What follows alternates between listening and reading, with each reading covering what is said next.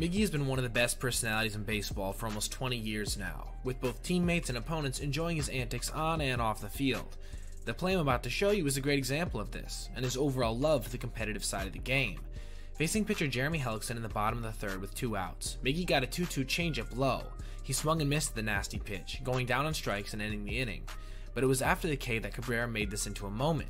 He gave the pitcher a thumbs up, appreciating his fine work.